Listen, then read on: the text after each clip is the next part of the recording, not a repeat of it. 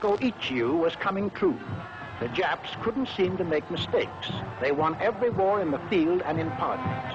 Every time they tangled with the West, they got new territory.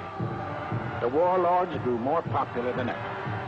In 1927, one of them, Baron Giichi Tanaka, made out a secret modern blueprint to achieve this mad dream and handed it to the emperor. It is called the Tanaka Memorial, Japan's Mein Kampf. It was a simple plan, but carefully thought out. To cover the earth with a Japanese roof, the Japs had first to conquer Asia. To conquer Asia, they needed manpower and raw materials.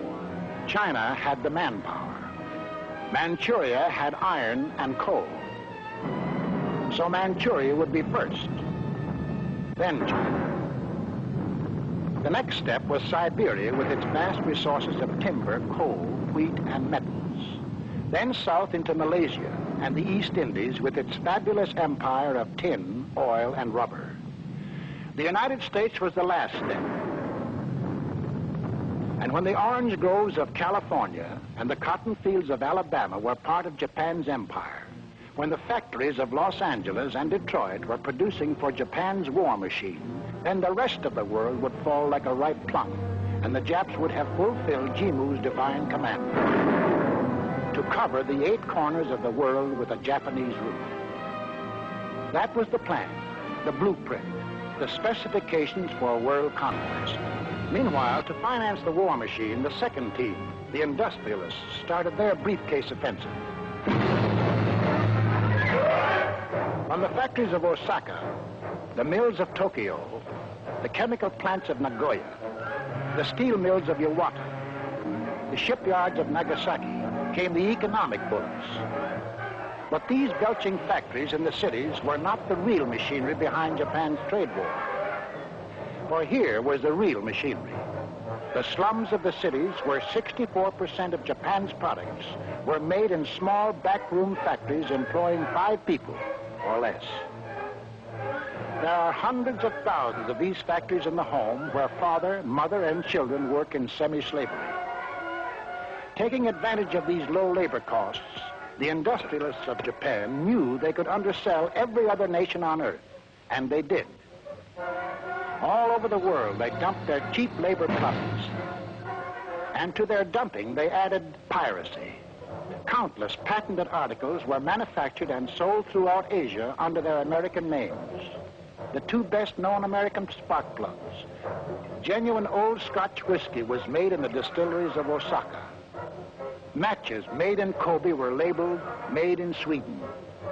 They undersold silk to the silk-producing Italians.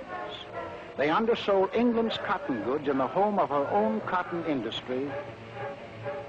They undersold beer to the beer-producing Germans. American toothbrushes, retailing at 35 to 50 cents each, were copied in Japan to retail in American chain stores at 10 cents each. They even undersold us with our own American flag. And with the money accumulated in foreign countries with these cheap labor exports, did they in turn buy automobiles, ice boxes, or food? Did they erect better homes for the Jap workers or improve their living conditions? No, indeed. Instead, they imported oil, scrap iron, tin, rubber, aluminum, and secretly built up their powerful war machine. A fanatic nation turning its sweat into weapons for conquest. Sweat for guns. Sweat for planes. Sweat for ships. Sweat for war.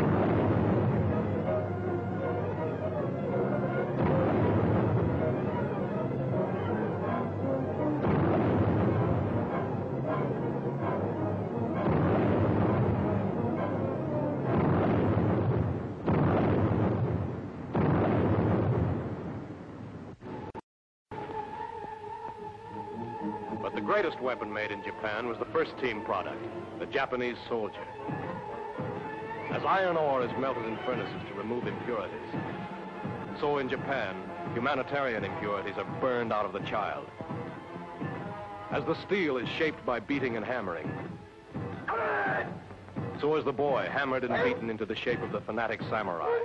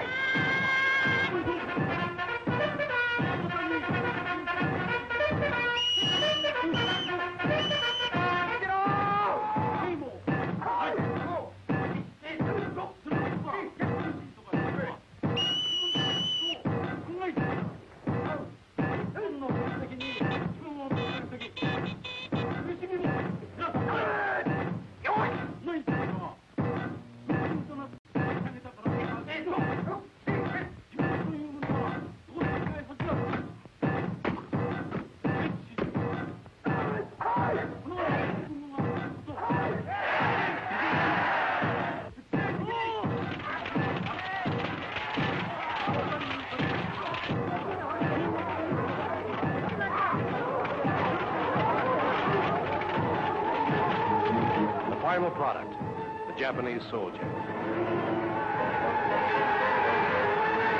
Ready to shoot, smash, and slug Jap superiority into all non-Japanese people. And so on September 18, 1931, the first team kicked off. The warlords, faithfully following the Tanaka Plan, launched their shooting war in Manchuria.